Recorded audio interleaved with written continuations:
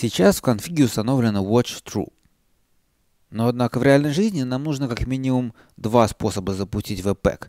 Первый для разработки watch true, и он будет висеть и ждать изменений и автопересобирать. А второй вариант для продакшена, когда webpack должен просто отработать и просто дать сборку. Традиционный способ переключаться между development и production запусками системы сборки – это переменное окружение. В Node.js традиционно используется node_env. Вот такая переменное окружение. Я положу ее в константу, и если вдруг ее нет, то будем считать, что это development. Соответственно, watch я просто укажу node_env равно development, то есть только включаем при разработке. И devtool тоже, если это development, то вот так. А иначе, ну, не факт, что мы захотим на продакшн выкладывать source map наши. Давайте их вообще отключим. Уже чуть ближе к реальности, но далеко не все. Заметим, что информация о том, в каком окружении происходит работа JavaScript, важна не только при сборке, но и внутри самих скриптов. То есть наш проект, наш модуль Home, наш модуль Welcome – могут содержать какие-то свои отладочные средства, которые только в девелопменте включаются и помогают нам отлаживать. Ну, скажем, вот console log, да, или что-то еще более мощное, уже зависит от проекта. Соответственно, мы хотим, чтобы в dev режиме это присутствовало в сборке, а в прод режиме это не нужно. Как этого добиться? Очень просто. Есть как минимум два хороших способа. Первый способ заключается в использовании плагина, который называется environment плагин. Для этого я добавлю плагинс массив. И для подключения плагина мне понадобится сам webpack. Я делаю npm install webpack. Обратим внимание, что сейчас именно локально ставится webpack. До этого я ставил его глобально, так как нужна была утилита, просто чтобы запускалась команда. А сейчас я ставлю локально, поскольку собираюсь импортировать модуль из webpack. const webpack равно и requirem его. В Webpack есть достаточно много плагинов. Их список можно посмотреть в документации. Вот если здесь искать плагинс, то list of plugins. Вот. Большинство находится здесь, но в данном случае environment плагина тут нету. Зайдем в сырцы. И здесь в директории lib можно обнаружить большое количество плагинов. Видите, раз плагин, два плагин, три плагин и так далее.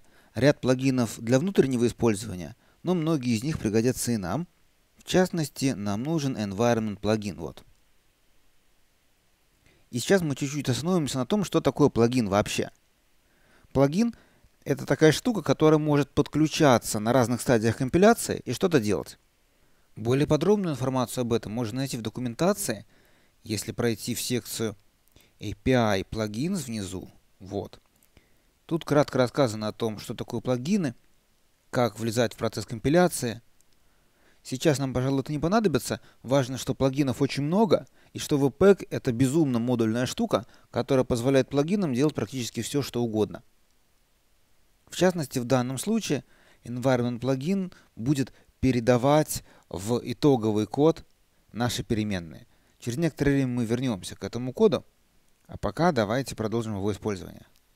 webpack.environment плагин Webpack экспортирует большинство плагинов, поэтому так можно сделать. И здесь я могу передать те ключи окружения, которые хочется сделать доступными клиенту. Например, node_env. Тут же можно, конечно, указать и другие переменные окружения, например, user, какие-то еще, или просто взять все ключи объекта process_env, как мы захотим. А сейчас запускаем webpack node_env равно, давайте development webpack. Ну вот, оно зависло, потому что watch true. И глянем вот сюда. И здесь мы увидим, смотрите, в исходном коде было вот так вот, а здесь вот так. То есть Webpack мало того, что подставил значение node_n в development сюда, но и произвел вычисление получившегося выражения. В простых случаях Webpack это умеет. Давайте для наглядности я сейчас сделаю еще alert process and user. Мы же user тоже вынесли в клиент. Пересобираю и смотрим сборочку. О, вот. У меня сейчас user называется learn, и оно подставило его имя сюда. Так, а теперь внимательно посмотрим на еще один пример. Я webpack запущу без node.env. Ну-ка. Видите warning? Потому что переменной нету. Если посмотреть сюда, то тут тоже что-то не совсем то, что мы хотели бы. Ведь если взять нашу сборку, то у нас используется константа node.env, которая равна process node.env, если есть, а иначе development. Соответственно, чтобы использовать ту же логику здесь, а именно передавать э, в клиента именно вот эту переменную, а не свойство process.env, нам понадобится немножко другой плагин. Давайте вернемся к коду environment плагина. Вот он. Environment плагин внутри себя использует define плагин. Именно define плагин занимается тем, что может произвольные значения из сборки передавать в клиент. А environment плагин просто обертка над ним, которая передает, вот видите, свойства process-env. Соответственно, в данном случае мы define плагин используем напрямую webpack define плагин. И здесь напишем, что node-env мы хотим передавать как есть. Теперь я возьму и в welcome это уберу Оставлю просто node.env. Пересобираем. И вуаля. Но не совсем. Смотрите внимательно. Сюда попала та строчка, которая была в переменной. То есть у нас node.env была development, именно строка development как есть сюда попала. Нам-то нужна вот такая вот строка, правильно? Нам нужно значение. Что же, это очень просто. Именно с этой целью добавляются JSON Stringify.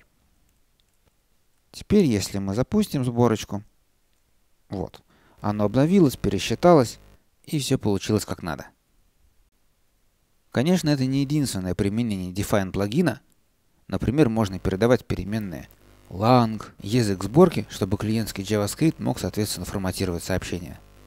Причем обратим внимание, не так вот голое значение, а в кавычках нужно. Или, если это из какой-то переменной окружения берется, то тоже JSON stringify. И так далее. Любые константы, которые специфичны для данной конкретной сборки JavaScript.